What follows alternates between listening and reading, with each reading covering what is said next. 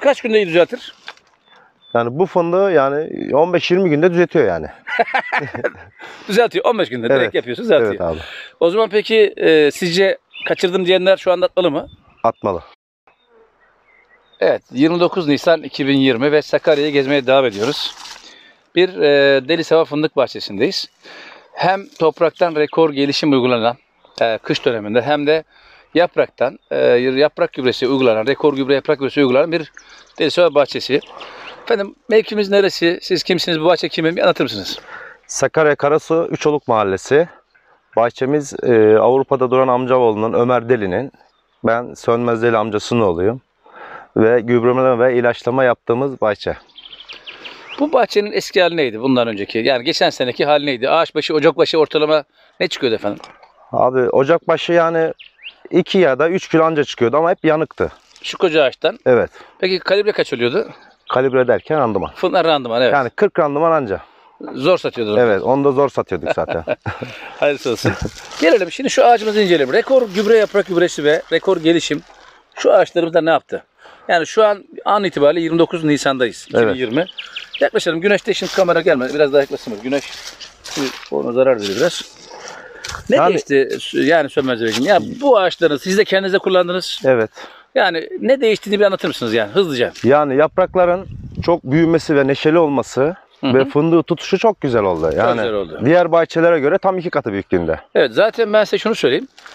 Bahçenin hacmi çok küçük olduğu için Evet. eskiden dal sayısı fazlaydı çünkü onun için budamıyordunuz. Evet, Yani Bir evet. anlatır mısın o konuyu? Yani dallar bakımsız olduğu için yani verimsiz olduğu için mecbur budama az yapıyorduk. Az yani. yapıyordunuz Evet. yani. Peki şimdi, Şimdi budak istiyor. tabii ki canım şimdi Şu an tam evet. budak ihtiyacı kalmış. Yani. Yani yapraklar neşelenince şey olunca sık gibi oluyor. Rekor ürünlerine kısa bir tabirle konuşursak ne yapıyor? Yani şey yaparsanız nasıl bir şey? Hiç böyle bir şey kullandınız mı? Duydunuz mu? Bu zamana kadar hiç Gördünüz mü? kullanmamıştık. Şaşırdınız mı? Evet. Şaşırdık yani. Gerçekten çok güzel. Çok güzel diyorsunuz. Evet. Tavsiye ettiğiniz dostlarınız oldu mu? Tabii ki. Önce sanırım Ömer Bey kullandı. Evet. Sonra O bize tavsiye etti. Biz de başka arkadaşlara Gördükçe tavsiye kullandınız tabii, yani tabii, sonucu. Tabii yani. evet. Şimdi birinci uygulamayı yaptık yaprak, yaprak Evet. gübresinde. İkinci uygulamayı da e, ikinci uygulamayı da e, bugün yarın Evet. yapacaksınız. Bugün yarın yapacağız. 20 15 16 gün önce yapmıştınız. Evet. Evet. 15-16. Devam edelim gösterelim şu ağaçlarımızı. Şöyle bakın. Çalılaşma var mıydı ağaçlarda? Şimdi kişi... Önceden çok vardı yani geçen seneye bakarak. Peki Sönmez Bey ben şimdi siz örnek vereyim. Daha önce böyle bir şey görmediniz ya. Bir başkası gelse şu ağaçlarda çalılaşma var diye inanır mı? İnanılmaz. Şimdi bize bu konuda ne diyebilir? Yani onun için hani göstermek lazım. Yoksa insanlar diyor ki yok devenin nalı yok bilmem ne yani. Hani nasıl anlatacağız böyle? Ya örneğini gösteririz mesela yan tarafta atılmayan ya da Yani yine yapılmayan. De, yine de yine de inanın sonuç anlamında siz inanır mıydınız peki birisi gelse gösterse? Hayır. Kullanmasaydınız inanmaz. Kullanmasaydık inanmazdık. evet. İnanmazdınız. Evet. Şu e, tutumları gösterelim bir. E, bu Gösterelim. meyveleri bir gösterelim. Buyurun gelin. Nasıl şu ağacımızın hali şu anda? Çok güzel. Yani hem tabandan rekor gelişim uygulandı Evet. ve üstten de yaprak gübresini uygulamaya devam ediyoruz. Aynen öyle Ha. abi. Şimdi bir gösterelim şu fındıkları gösterelim. Gelelim böyle.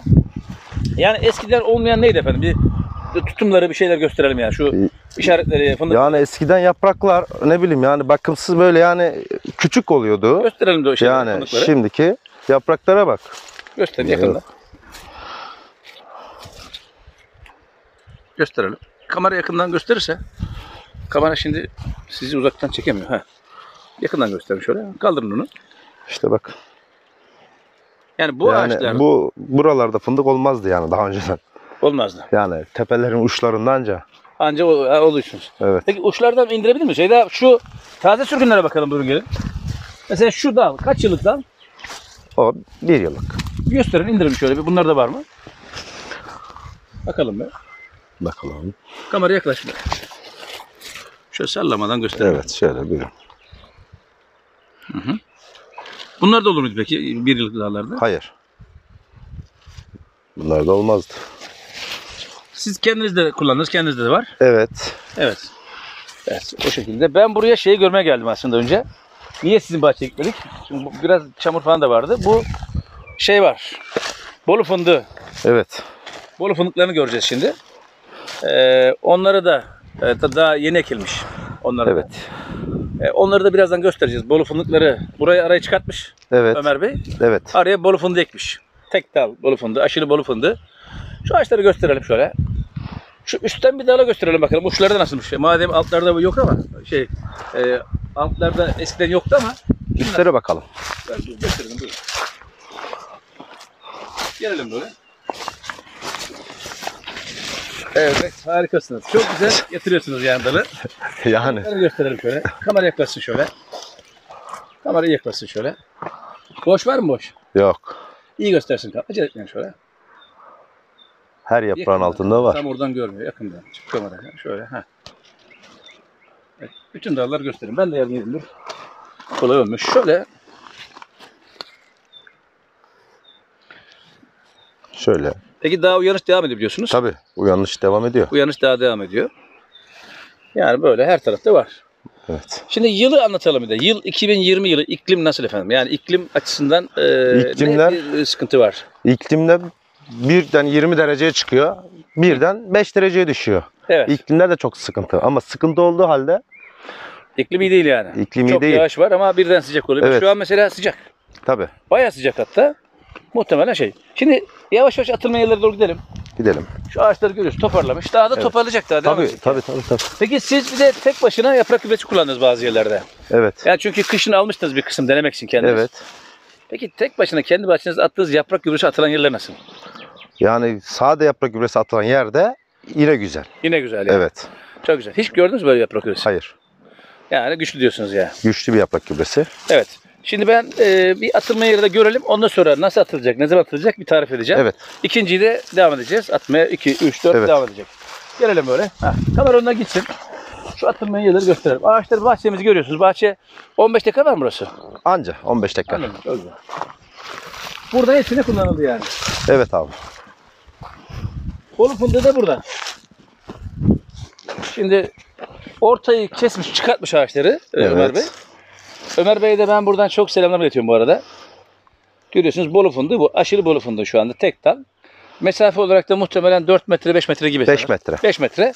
O zaman 5 metreye 6 metre mi dikecek? Evet. 5'e 6 şeklinde dikmiş bahçeyi ama bahçesi belki kötüydü. Dönüşüme düşünüyordu belki ama şimdi peki düşünecek mi sizce bundan sonra? Vallahi Soru bu. Sizce?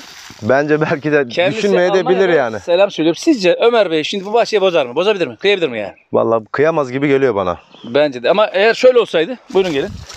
Yan taraftaki bahçeye buyurun gelin. Kamera önden gelsin böyle. Şu bakar mısın şuraya? Şöyle güzelce. Evet.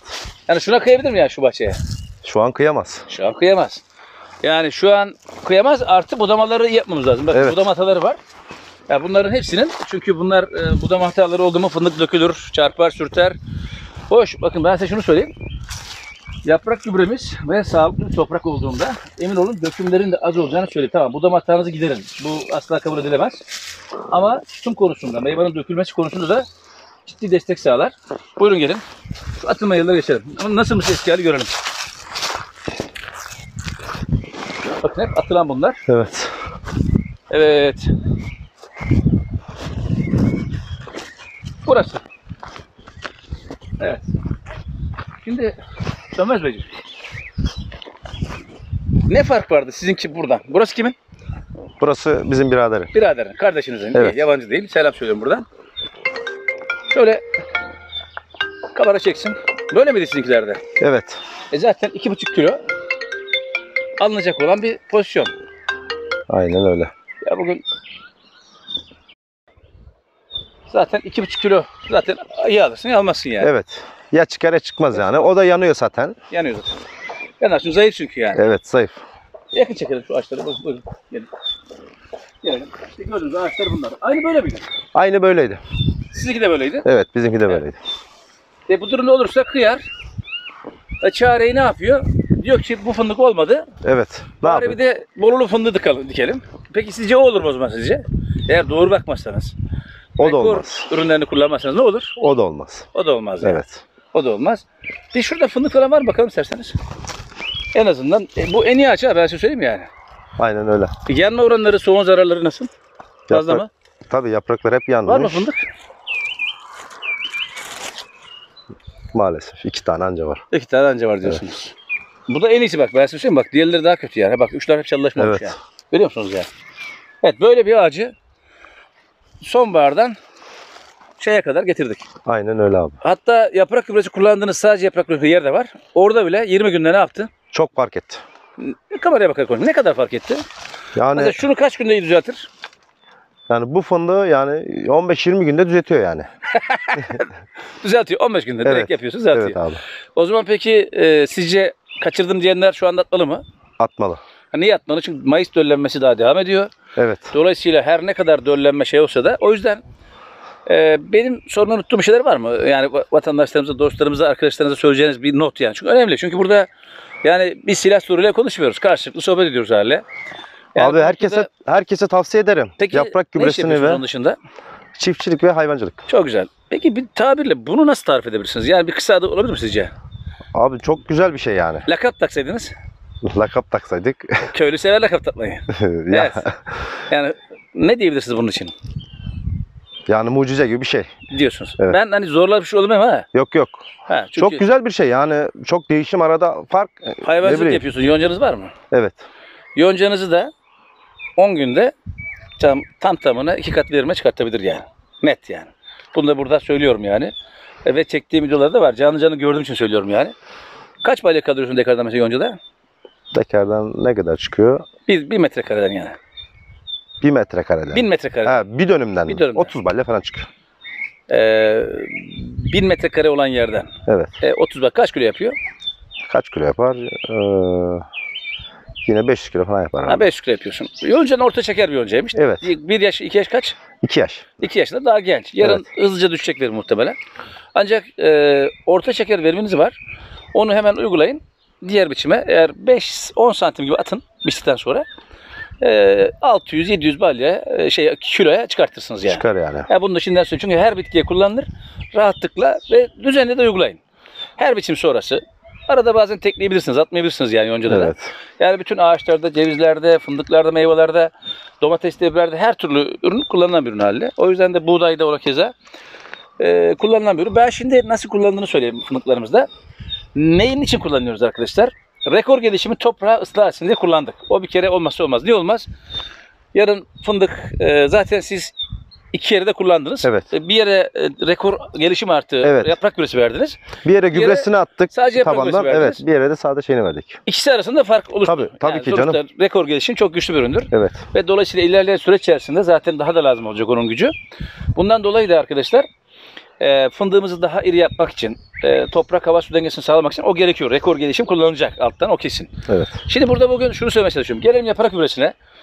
Bugün bunu niçin atıyoruz? Bunu bugün ne zaman atacağız? Bu bugün e, öncelikle e, yapraklarımız 5 kuruş ebatına geldiğinde yani ilk e, karanfiller e, yeşile dönüyor. Kırmızıdan yeşile dönüyor. Tozlama bitti. Erkekler tozunu bitirdi. O dönemde başlamanızı tavsiye ediyorum. Ve e, 20 gün arayla devam edin. Çünkü birinci görevimiz öncelikle e, şeye karşı dölleme dölleme olayını bir sağlıklı şekilde bitirmek. İklim çünkü çok arızalı. Arkasından da arkasından da e, işte birazdan külleme dönemi başlayacak. Evet. Şu an soğuğun verdiği zararı gördünüz. Burada ne kadar orada ne kadar. Yani. Yani gördüğünüz gibi yok. Evet. neredeyse. Ki buraya sen yarın bir tane attın mıydı? Zaten Orası kaybeder. daha da pırıl pırıl daha da pırıl olacak. O yüzden bitkinin gelişimi açısından e, ve hastalıklara karşı direnç göstermek açısından atıyorsunuz. Ve fındığın e, daha da kalitesini artırmak için atıyorsunuz.